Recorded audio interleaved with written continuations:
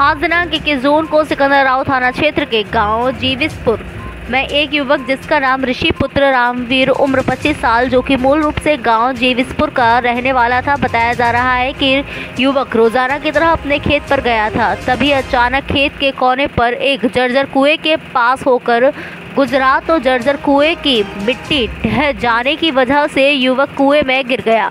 और उसके ऊपर कुएँ की सारी मिट्टी गिर गई। और युवक ने वहीं दम तोड़ दिया। यह मंजर देख परिजनों ने तत्काल अपने परिवार के लोगों की सहायता, जब मिट्टी निकलवाने का प्रयास किया तो युवक मौके पर ही दम तोड़ दिया था।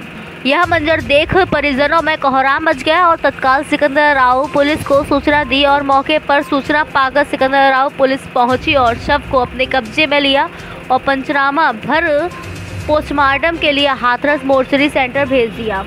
सिकंदर राव से मोहित कुमार की report S K H news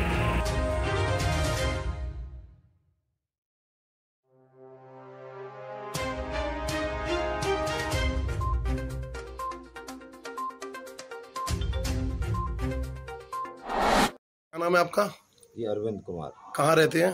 जिनसपुर आज जो सुबह जो कुएँ में युवक की गिरने से जो घटना हुई है उसके बारे में बताएँ।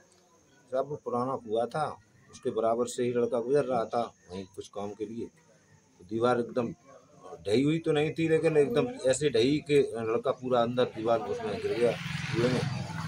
मिट्टी ऊपर से ढह गई तो जब निकाला है तो मृत्यु निकली उसकी। मौके पर ही मौत हो गई? मौके पर ही मौत अच्छा आपने पुलिस को इसकी सूचना दी? हाँ साहब बिल्कुल तत्पर सूचना दी थी और आए थे।